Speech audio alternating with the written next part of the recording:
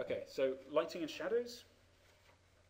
So lighting and shadows, uh, we've already shown how to do a little bit of lighting. There are three types of lights. There are directional light, point light, and spotlight. They are as they sound. Um, and associated with just directional lights, I think.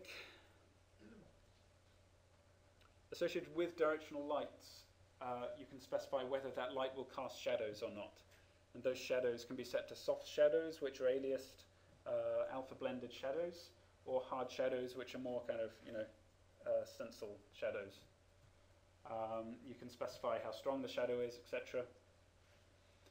Um, the resolution of the shadows, which is in quality settings, which I'll talk about in a few slides. And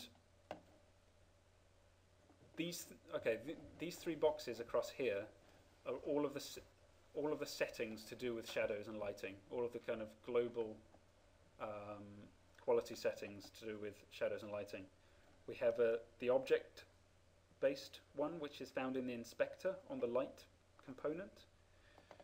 In player settings, which I haven't shown you right yet, we specify a rendering path. There are three rendering paths. There's deferred lighting, there's forward lighting, there's vertex lit. Vertex lit is uh, the simplest form. It does not um, support real-time shadows. Uh, it's used mainly for legacy systems like OpenGL 1, OpenGL ES uh, 1 devices, like very old Android phones. Um, forward lighting is available in the free version only. Sorry. Forward lighting is the best lighting available in the free version. It supports, I think, four dynamic lights. Um, and deferred lighting is the highest quality pro version, real-time lighting, global illumination, etc. Supports everything that Unity has in there. And that's only in the pro version. It's not to say that things don't look good outside of deferred lighting, but um, if you want to do nice real-time soft shadows, then it'll look much better in there. And then quality settings. I'll show you these three things in a second. Um, quality settings are overall kind of per platform settings for quality. So everyone's probably run a Unity application and the first thing that happens is it pops up a dialog box saying what quality level do you want and one of them is simple, one of them's good, one of them's brilliant and one of them's fantastic or something like that. These are loading these settings from the quality settings. So it's, it's loading, the it's loading the rendering settings at runtime through the quality settings that you've built your project with. So let me show you those couple of things. So the first one was a light. We don't even have a light in this scene. Um, let's just add a point light. So in the point light, okay, we can use shadows with uh, point light. I thought you couldn't for some reason. Can you with a spotlight? Okay, you can have shadows with all light types. Okay.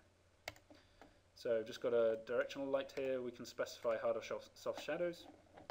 That's how you specify it on a light basis. On objects, you might want an object that does not cast or receive shadows. So on each mesh renderer object, we also have a cast shadows and receive shadows check. Um, obviously, they do what they do what they uh, say. In Edit Project Settings Quality, you will find this um, bunch of settings. These are all of the options that you see when you when you run a Unity game.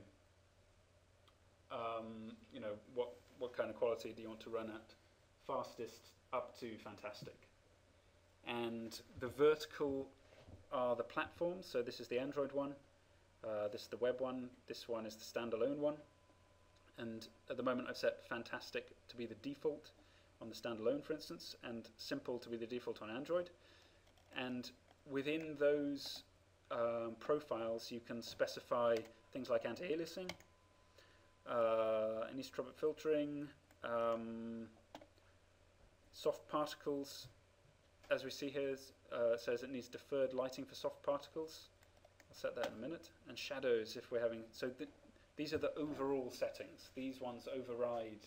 Um, um, sorry, they don't override settings, but they're just if these are disabled, then any settings you have in your game objects.